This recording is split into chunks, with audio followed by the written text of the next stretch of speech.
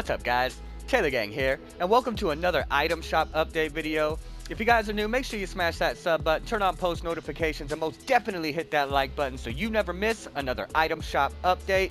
So what we got today is we got the Lil Whip, which is going to cost you 1500 V-Bucks. This is a pretty cool skin. I do like the skin, and I will be picking this skin up today. It's a super nice skin. We also have the ice pop that came. This is what it sounds like. Really nice. And you also have the Ice Cream Cruiser.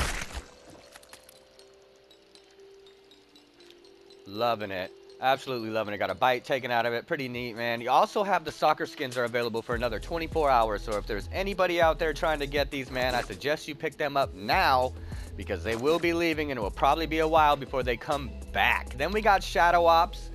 Nice skin, nice colors. I like the black. I wish they would have had shiny black pants, but it works. Rapscallion we got. This is a good back bling right here, man. This is a funny back bling. I like it a lot. And I like her a lot. My wife picked up this one. I did pick up the male counterpart. Then we have glow sticks.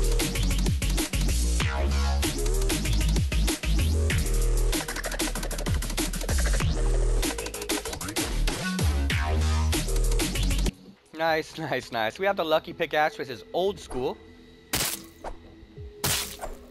That's what that sounds like. We have the new, or we have Kick Up. We'll go with this first. Which came with the soccer set. Good emote. I just not for me. And then we have the Sprinkle Wrap, which I don't know if I'll pick this up or not, but this is a cool looking wrap. Let me down know down below what it is you guys are after or what skin you're wishing you could get. And I just might gift it to you. Thank you guys. Make sure you turn on post notifications. I'll catch you guys at the next one. See you later.